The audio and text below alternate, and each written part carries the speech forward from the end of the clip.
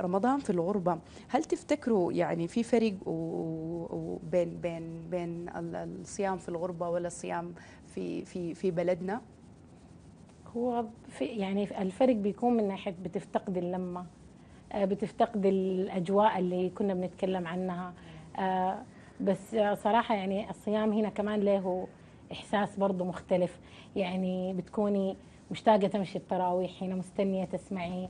التهجد والدعاء والدعوات والحاجات دي كلها يعني جميلة بس أنت الفرق بين هنا وهناك اللمة أكثر حاجة. نحن بنحاول السفرة تكون يعني تشبه سفرة هناك بس ما بتكوني فاقدة فيها الناس العزوة الأهل آه طلع الصينية الش... صينية الشارع دي براها دي يعني لازم تجهزيها. هنا ما بتعملي الحاجات دي فبتفتقديها فعلا. بتفتقدي اللمات اللي بعد الفطور القعدات والشاي والجبنة والحاجات دي. بس آه رمضان هو رمضان.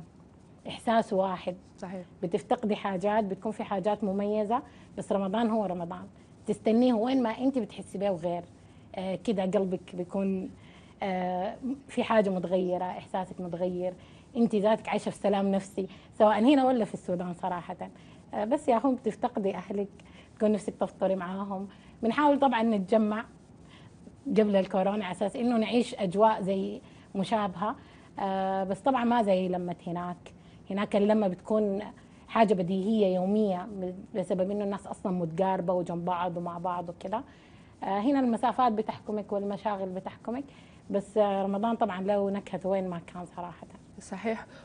كلامك صح يا هيفاء. وبما إنك أنت من مواليد المملكة العربية السعودية حابين إن أنت تكلمينا عن عن طقوس رمضان وحتى تجهيز ما قبل رمضان هنا في المملكة.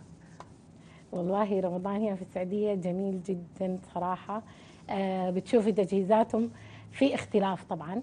آه حتى في طريقة نبدأ شنو في الأكل نعمل شنو